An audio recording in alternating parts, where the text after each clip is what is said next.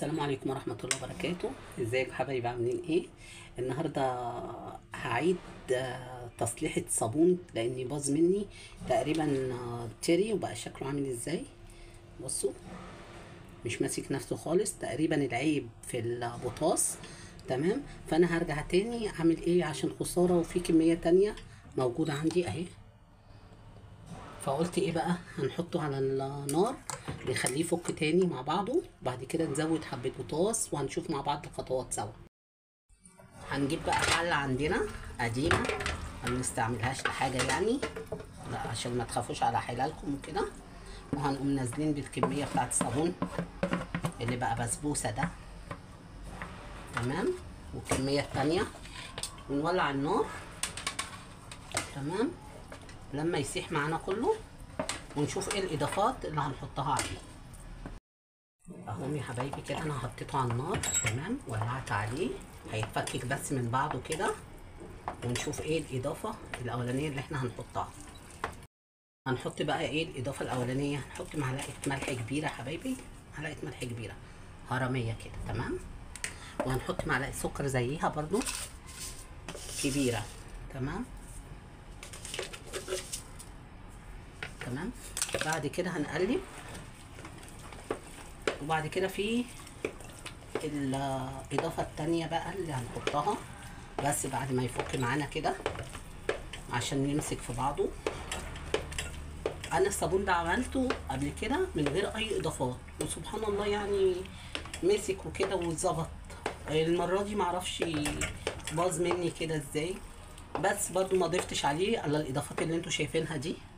تمام؟ هنجيب بقى نص كوباية مية يعني يا ريت المية تبقى قليلة. تمام؟ نص مش نص ربع كوباية مية. تمام؟ هنحط فيها حوالي خمس معالق مليانين من البوتاص هما دول بالظبط خمس معالق. تمام؟ بس يا ريت لما تجيبوا البوتاص تستعملوه على طول. يهدى معايا بس البوتاص لأنه بيعمل آه، تفاعل وبيسخن. يهدى بس معايا من السخونية. وبعدين هنضيفه على ال على الصابون. هننزل بقى بكمية البوتاص اللي إحنا لسه عاملينها. ونقلب. برضو أنا علشان خايفة برضو يفك مني هحط إيه بقى؟ يا نحط نشا يا نحط دقيق. تمام؟ بس هنقلب على قد ما نقدر. لازم تقلبوا كتير. عايزين تقلبوه بقى بمضرب كهربائي. تقلبوه بايديكم زي ما أنا بعمل كده زي ما أنتوا عايزين. بس لازم نقلب فيه كتير.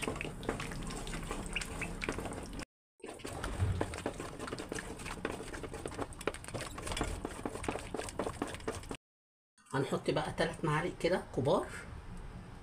تمام؟ من الدقيق. اللي عنده دقيق يحط اللي عنده نشا يحط يا جماعة ده الدقيق بيعمل ريحة. ولا النشا بتعمل ريحه تمام؟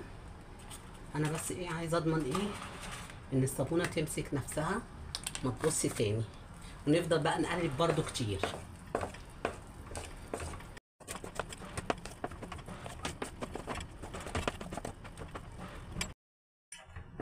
بص يا حبايبي كده تفضلوا تقلبوا فيه كتير كتير علشان كله يمتزج ببعض كده كل المكونات اللي إحنا ضفناها. وبعد كده بقى هنقوم صابينه في صاجة أو صينية تكون مغلفينها يا إما بستريتش يا إما حاطين فيها أكياس آه، بلاستيك. أهو جبت صاج وحطيت عليه شنطة تمام؟ المهم الشنطة ما تبقاش مخرمة علشان إيه؟ لو خايفين على الصاج ولا خايفين على ال على الألمونيا تمام؟ أنا حطيت كده كمية عشان هي كتيرة فأنا هشوف إيه؟ هتاخد قد إيه؟ ممكن نحتاج صاج تاني ولا لأ؟ بص يا حبايبي إن شاء الله يكون على آخر النهار كده نشف قدامنا ونشوف هن إيه نشققه مع بعضينا. جبت كيس تلاجة تمام؟ اللي بتحطوا فيه ال- الأكل اللي بيفيد أو الطماطم وهنقوم إيه؟ مسويين من فوق كده بالطريقة دي ان شاء الله. ويبقى السطح بتاعه متساوي وكل حاجة. أنا سويته كده بالكيس على قد ما قدرت يا حبايبي. وإن شاء الله هحط الكمية التانية في الصاج التاني ولما يخلص معايا هنشوفه سوا. حبايبي جبت صاج تاني أهو حطيت فيه بقية الكمية. تمام؟ برضو هنسويها زي زي الصاج الأولاني. وبعد كده هوريكم النتيجة. أهو الصاج التاني. ولما ينشف بقى معانا هوريه. أهو يا حبايبي الصابون نشف معايا. خد يجي ست ساعات من بعد ما عملته. تمام؟ دلوقتي هقطعه علشان لازم أقطعه وهو طري علشان ما ينشفش معايا. هنقطعه كده. تمام؟ تقطعوه بقى زي ما أنتوا عايزين. صابونة صغيرة عن كده أكبر من كده زي ما أنتوا عايزين. تمام؟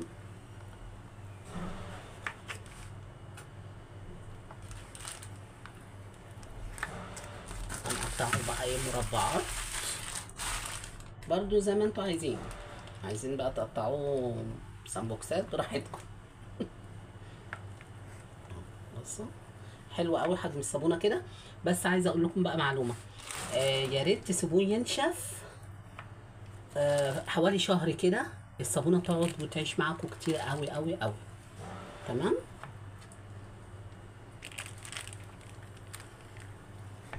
هنجيب الصاج التاني ونقطعه سوا. الصاج التاني اهو هنقطعه برضو سوا. بسم الله.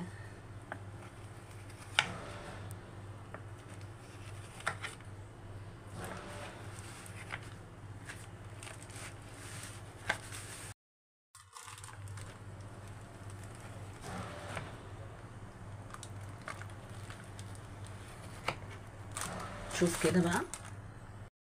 هنحرك كده بقى الصابونه هي لسه طرية طبعا مش ناشفة قوي بس برضو هنقدر نحركه ونطلعه كله بعيد عن بعضه عشان ينشف أكتر.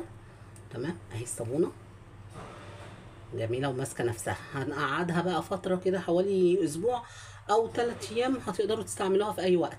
بس أنا بأرجح إن أنتوا تسيبوها لمدة شهر عشان الصابونه ترمي معاكم والصابونه بتقعد بالظبط بعد ما بتنشف معانا عشر أيام. يعني الصابونة بتقعد كتير جدا فترة طويلة تستعملوها.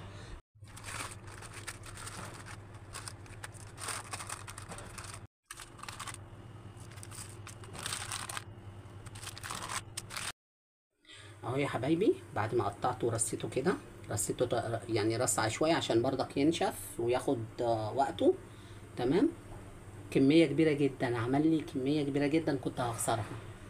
بس الحمد لله انقذت الصابون آه، يا رب يكون استفدتوا من الفيديو ويا ريت like و share تشتركوا في القناة وتفعلوا زر الجرس عشان يوصل لكم كل جديد السلام عليكم ورحمة الله وبركاته.